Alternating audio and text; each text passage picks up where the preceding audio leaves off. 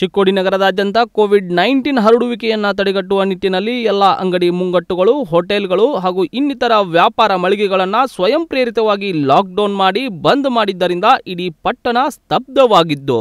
ಆದರೆ ಇದರ ಪರಿಣಾಮವಾಗಿ ದೇವರಿಗೆ ಬಿಟ್ಟಿರುವ ಗೂಳಿಗಳೆಂದು ಕರೆಸಿಕೊಳ್ಳುವ ಆಕಳುಗಳು, ಇನ್ನುಳಿದ ಮೂಕ ಪ್ರಾಣಿಗಳು, ನಿರ್ಗತಿಕರು, ಮಾನಸಿಕ ಅಸ್ವಸ್ಥರು ತುತ್ತು ಅನ್ನಕ್ಕಾಗಿಯೂ ಪರದಾಡುವ ಪರಿಸ್ಥಿತಿ ನಿರ್ಮಾಣವಾಗಿತ್ತು. ಚಿಕ್ಕೋಡಿ ನಿಪ್ಪಾಣಿ ಮುಖ್ಯ ರಸ್ತೆಯಿಂದ ಚಿಕ್ಕೋಡಿ ಪೊಲೀಸ್ ಠಾಣೆಗೆ ಹೋಗುವ ದಾರಿಯಲ್ಲಿ ಒಬ್ಬ ವ್ಯಕ್ತಿ ಕಸದ ಬುಟ್ಟಿಯಲ್ಲಿ ಚೆಲ್ಲಿದ, ಉಳಿದ, ಹಳಸಿದ ಅನ್ನವನ್ನು ತಿನ್ನುತ್ತಿರುವ ಹಾಗೂ ತುತ್ತು ಅನ್ನಕ್ಕಾಗಿ ಪರದಾಡುತ್ತಿರುವ ದೃಶ್ಯ ನೋಡಿದರೆ ಹೃದಯ ಕಿತ್ತು, ಬಾಯಿಗೆ ಬಂದಂತೆ ಆಗುತ್ತಿತ್ತು.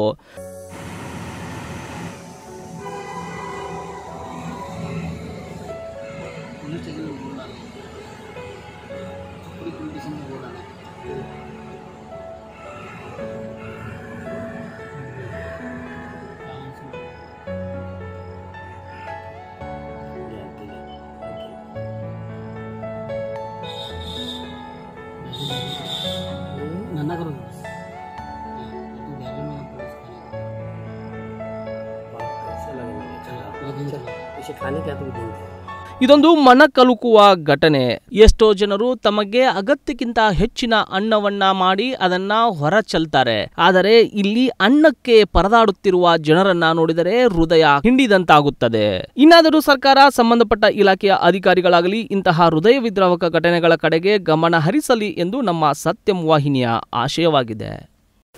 ವೀಕ್ಷಕರೇ, ನಮ್ಮ ಸತ್ಯಂ ವಾಹಿನಿಯ ಪ್ರತಿದಿನದ ಅಪ್ಡೇಟ್ ಮಾಹಿತಿಯನ್ನ ತಿಳಿದುಕೊಳ್ಳಲು ಸತ್ಯಂ ಟಿವಿ ಕನ್ನಡ ಯೂಟ್ಯೂಬ್ ಚಾನೆಲ್ಗೆ ಸಬ್ಸ್ಕ್ರೈಬ್ ಹಾಕಿ ಹಾಗೂ ಬೆಲ್ ಐಕಾನ್ ಅನ್ನು ಕ್ಲಿಕ್ ಮಾಡಿ.